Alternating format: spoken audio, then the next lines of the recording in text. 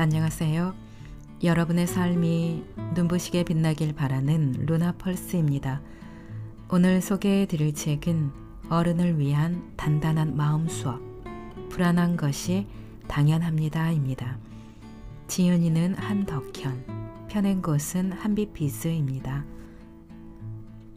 책의 저자는 중앙대학교 정신건강의학과 교수이며 스포츠 정신의학 전문의입니다. 그리고 국제 스포츠 정신의학회 정회원으로 볼모지나 다름없는 국내 스포츠 정신의학 분야를 개척했다고 하네요. 불안은 하루에도 몇 번씩 경험하게 되는 현대를 살아가는 우리에게 아주 밀접한 감정입니다. 불안에는 나이도 없고 성별도 없지요. 정도의 차이만 있을 뿐 우리는 살면서 크고 작은 불안을 경험하며 살아갑니다. 이 책의 저자 한덕형 교수는 스포츠 정신의학 전문의로 오랜 시간 극도의 불안과 긴장을 안고 살아가는 스포츠 선수들의 멘탈 코칭을 해왔고요. 불안을 호소하는 수많은 일반인을 만나왔습니다. 이를 바탕으로 불안이란 무엇인지 제대로 알아보고 불안을 다스리는 올바른 방법을 제시합니다. 불안으로부터 벗어날 수 없는 운명이라면 억지로 싸워 이겨들기보다 조금 편안히 달래가며 살아보라고 저자는 말하고 있습니다. 저자에 따르면 불안은 모르는 것, 즉 무지에서 시작된다고 합니다. 그러기에 모르는 것은 공포와 불안을 동반합니다. 불안은 참는다고 사라지지 않습니다. 우리는 스트레스와 불안을 이기지 못하는 사람을 두고 쉽게 멘탈이 약하다고 하지만 그렇게 단순한 문제가 아니죠. 전문가의 적절한 조언이 필요한 이유가 바로 여기에 있습니다. 요즘 같은 상황에선 불안하지 않은 사람은 더더욱 없을 겁니다. 불안한 것이 당연합니다. 이 사실 하나만으로도 큰 위안이 되지 않을까 합니다. 책의 내용 중에서 제가 인상적으로 읽은 부분 몇 군데를 골라 낭독해 드리겠습니다. 오늘도 책과 함께 편안하고 따스한 시간 되시기 바랍니다.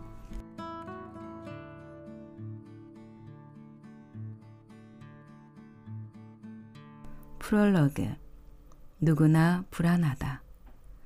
불안은 모르는 것, 즉 무지에서 시작된다. 일단 내가 모르는 것은 나쁜 것이고 무서운 것이므로 피해야 한다. 그러기에 모르는 것은 공포와 불안을 동반한다. 그뿐 아니라 불안은 아는 척 하는 것에서도 시작된다. 모르는 것을 안다고 스스로를 속이면 죄책감이 자신을 괴롭힌다. 이것이 불안이다.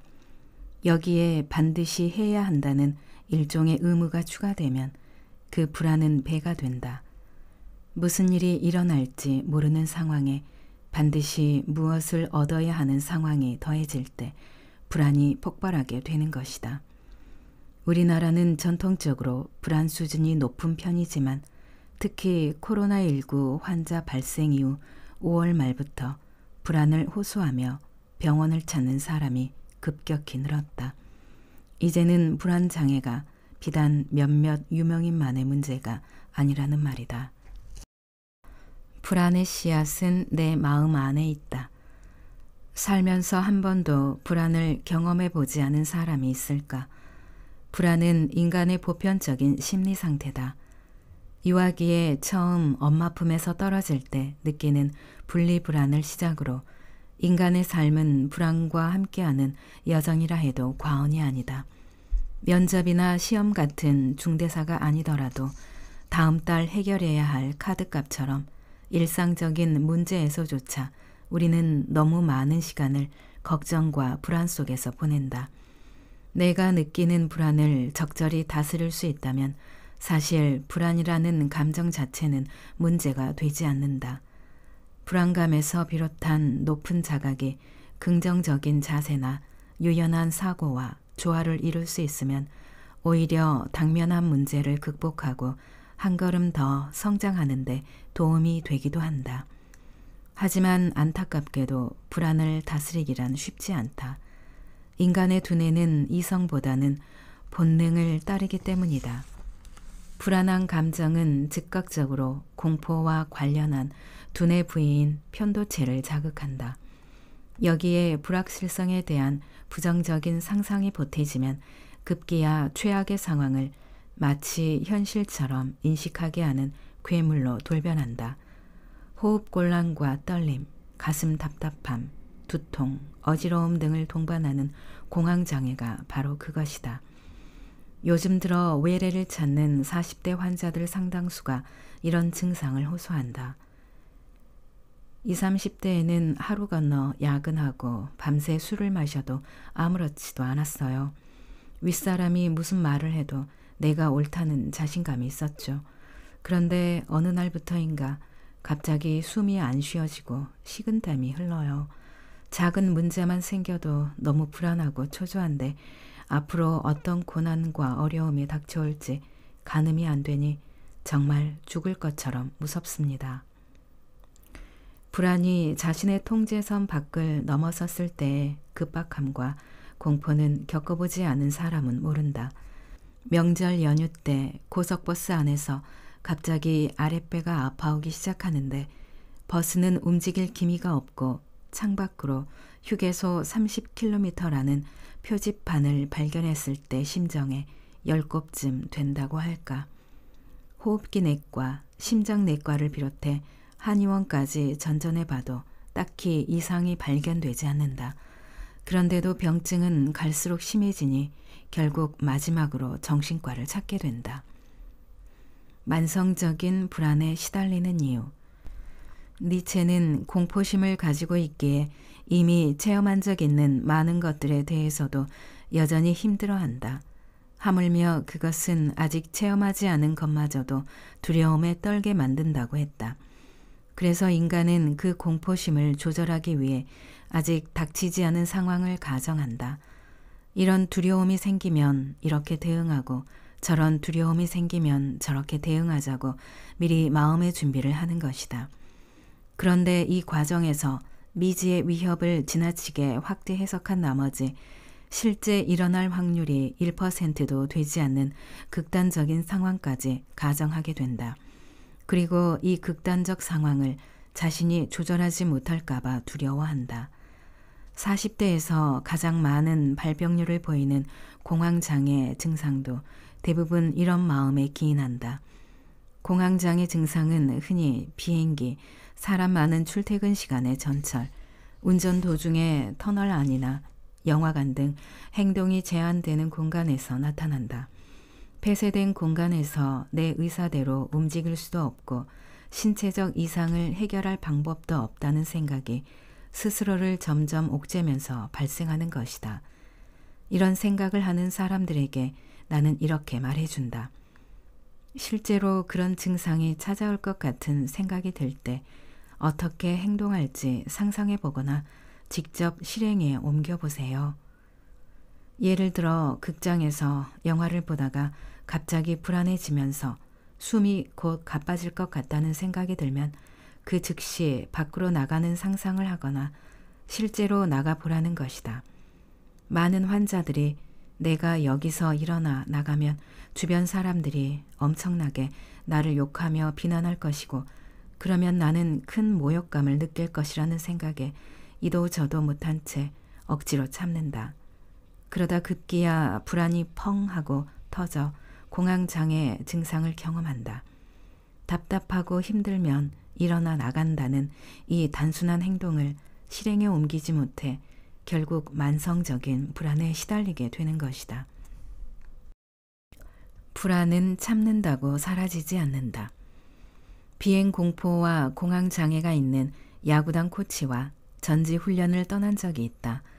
나는 그 코치의 옆자리에 앉아 비행 공포에 대해 넌지시 물었다.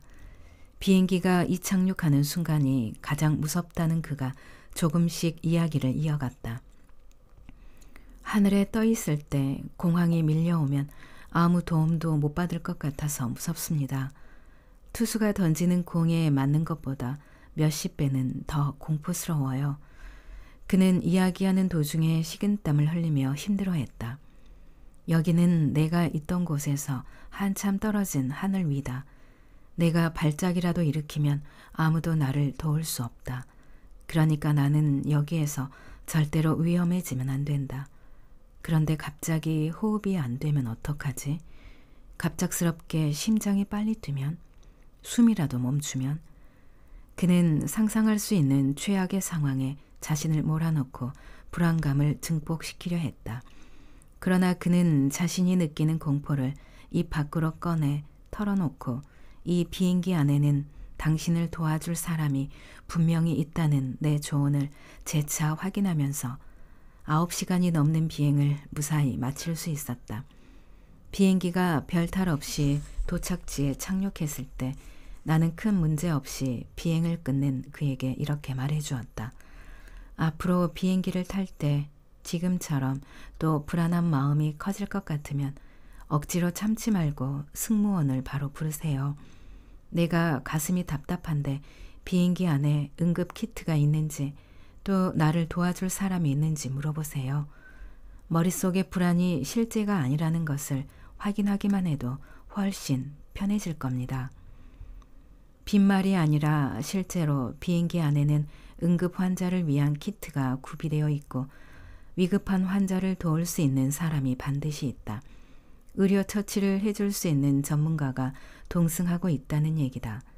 나 역시 여태껏 비행기 안에서 7명의 공황장애 환자를 만났다. 국적도 한국, 태국, 미국, 푸에르토리코 등 다양했는데 단지 내 존재를 확인시켜 주는 것만으로 증상이 호전되는 것을 경험했다. 비행기가 착륙한 뒤 내리면서 코치가 했던 말이 아직도 기억에 남는다. 박사님, 제가 태어나서 처음으로 눈 뜨고 비행기를 타고 내렸네요.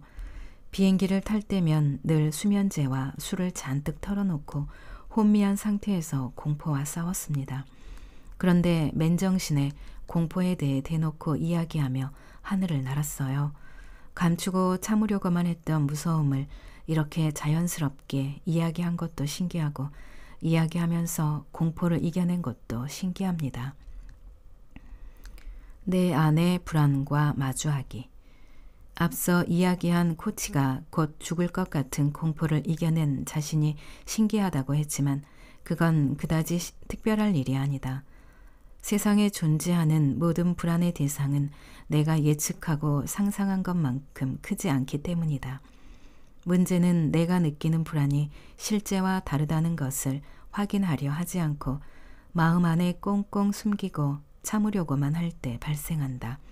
코치가 경험했듯 실제로 꺼내놓고 보면 별것 아니고 충분히 해결할 수 있는 일을 마음속에 가두고 숨긴 채 불안을 키우기 때문에 문제가 되는 것이다. 고전적 정신분석 이론에서는 불안의 발생을 크게 두 가지 가설로 설명한다. 첫 번째 가설은 내 안에 있는 갈등이나 공포심을 밖으로 꺼내놓으면 너무 무섭고 힘들기 때문에 이것이 외부로 드러나지 않게 스스로 눌러 막아 놓는데 이것이 쌓이고 쌓이다 결국 터져 나오는 것이 불안 증세라는 것이다. 두 번째 가설은 내 안의 갈등과 공포심을 인지하고 느끼면 스스로 위협받기 때문에 이를 제대로 직면하지 않고 무의식에 숨기려고 한다. 이를 위해 자신에게 거짓말을 반복하게 되고 그때의 깨름직한 느낌이 불안이라는 것이다. 어느 쪽이 더 타당하다고 말할 수는 없지만 두 가설에는 명확한 공통점이 하나 있다. 나를 위협하는 그 감정을 지금 여기에서 올곧이 느끼며 직면하지 않고 감추거나 회피하는데 급급하다는 것이다. 정신의학에서는 내가 지금 무엇을 두려워하는지 나를 무섭게 하는 대상이 현실에서는 어떤 모습인지를 정확히 아는 것을 병식이라고 한다. 이 병식을 갖게 해주는 것이 정신 상담 치료의 절반이라 해도 과언이 아니다. 다시 말해 나를 불안에 떨게 하는 무서운 것이 실제로 나를 얼마나 위협하며 위해를 가할 수 있는지 알아보는 것이 불안을 없애는 첫걸음이라 할 수 있다. 내 안에 내재한 모든 걱정과 불안을 가만히 한번 들여다보자. 마치 모르는 사람을 대하듯 무심히 바라보자. 조금 용기를 내어 혼잣말을 해봐도 좋다. 아, 불안이 왔다. 세뇌하듯 다시 말해보자. 쓸데없는 불안이구나. 불안은 슬그머니 사라지기도 하고 고집스럽게 나를 움켜쥘 수도 있다. 그럴 땐 그저 지금 당장 내가 할 수 있는 일을 해보면 어떨까. 공황 장애를 가진 이가 비행기 안에서 승무원을 찾듯 내 얘기를 들어줄 누군가를 찾아보는 것도 좋다.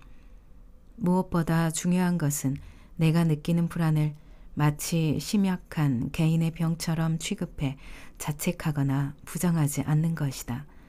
살면서 누구나 안고 가는 감정이 불안이다.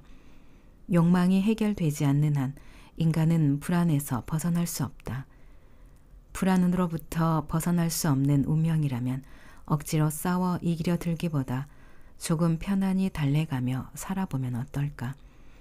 고집불통인 어린아이를 다독이듯 말이다. 두려움의 실체를 찾아서 왠지 모를 두려움에 가슴이 답답하고 불안해요. 이유를 모르겠어요. 진료실을 찾는 많은 사람이 이렇게 말한다. 하지만 놀랍게도 이들과 10분 정도 이야기를 하다 보면 이들 대부분은 자신이 어떤 것 때문에 스트레스 받는지, 현재 무엇을 어려워하는지 잘 알고 있다. 그러면서도 이유를 모르겠다고 말하며 병원을 찾는 것이다.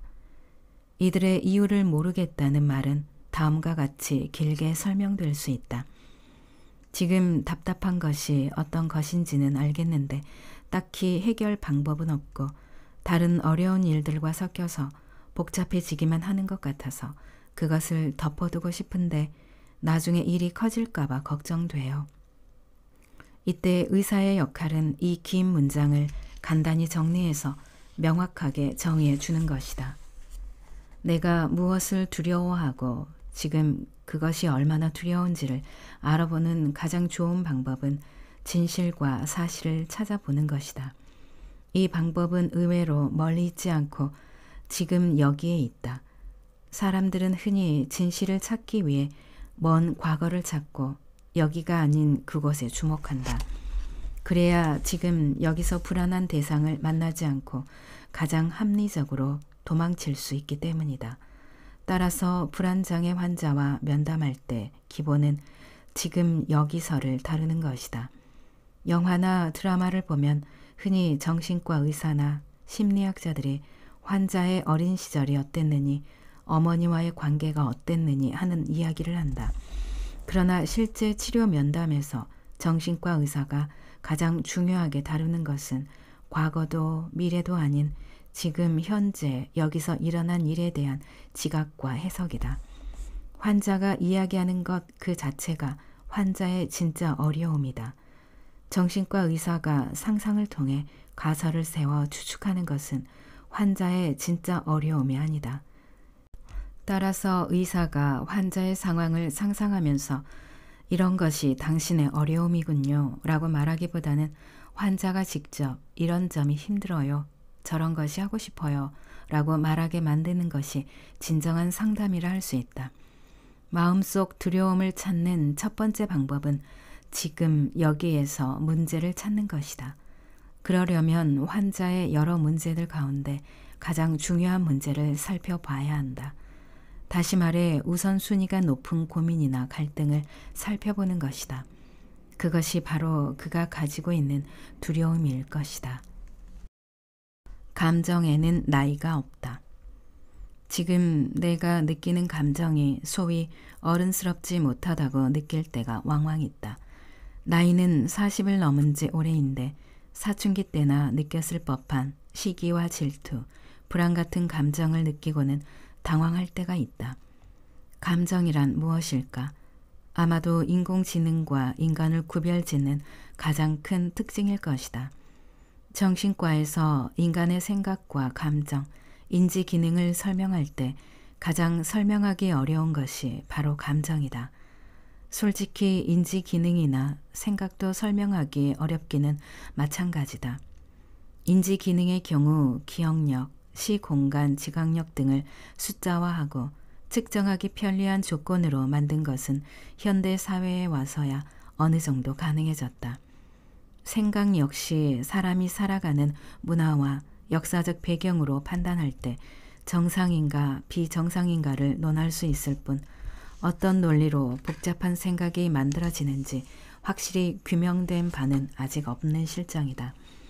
인지 기능과 생각이 이럴진데 하물며 감정을 어떻게 분해하고 논리적으로 설명해야 할지 답하기는 아주 어렵다.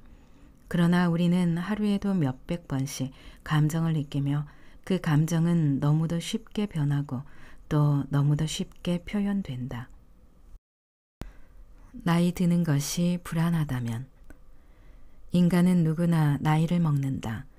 흰머리가 한두 개씩 눈에 띄고 아픈 것이 하나둘 늘어나면 나이를 먹는 것 자체가 불안으로 다가온다.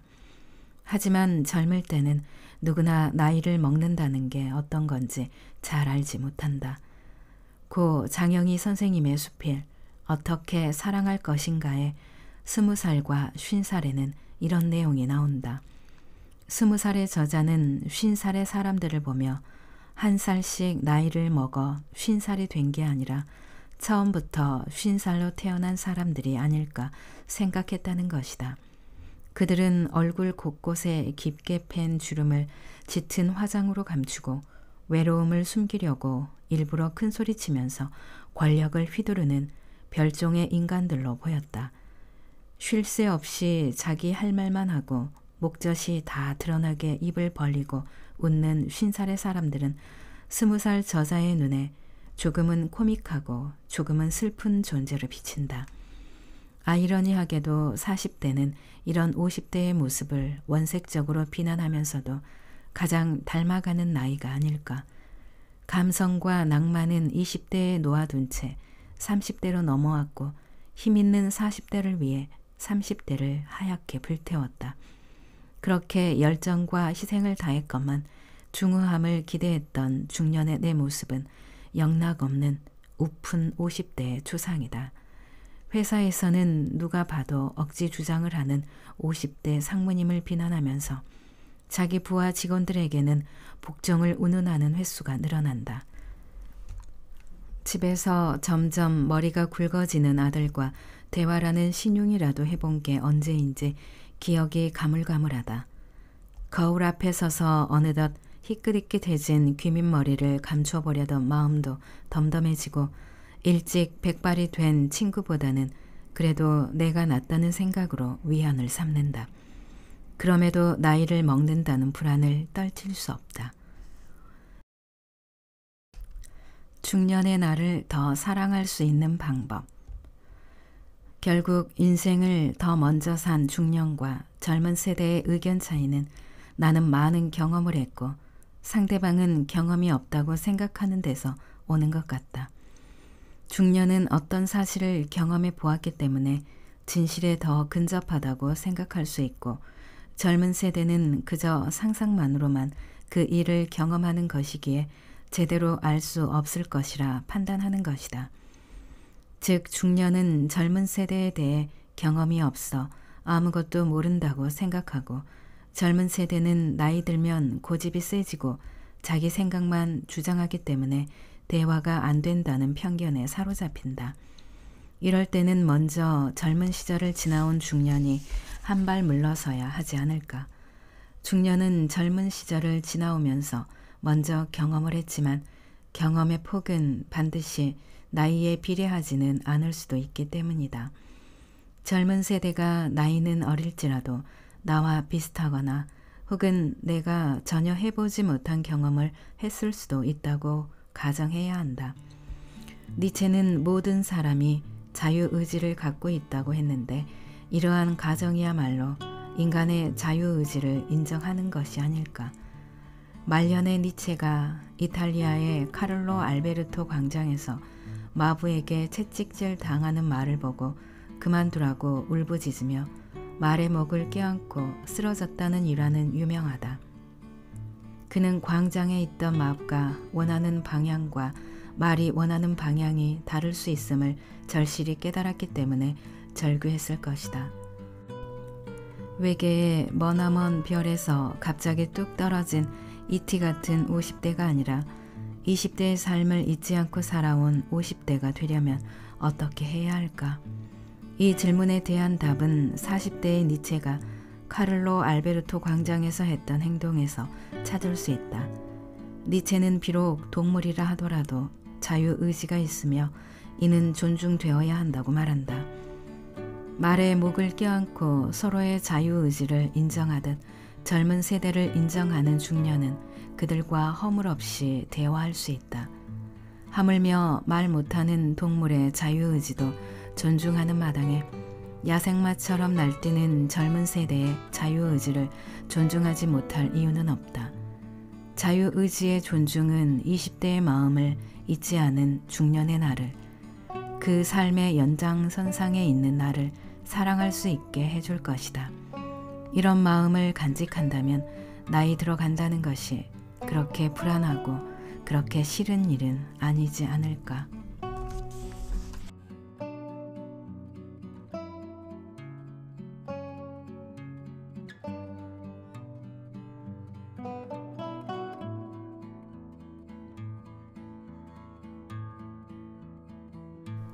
낭독은 여기까지입니다. 여러분의 구독과 좋아요, 댓글은 저에게 큰 힘이 되는 거 아시죠? 오늘도 끝까지 들어주셔서 감사합니다.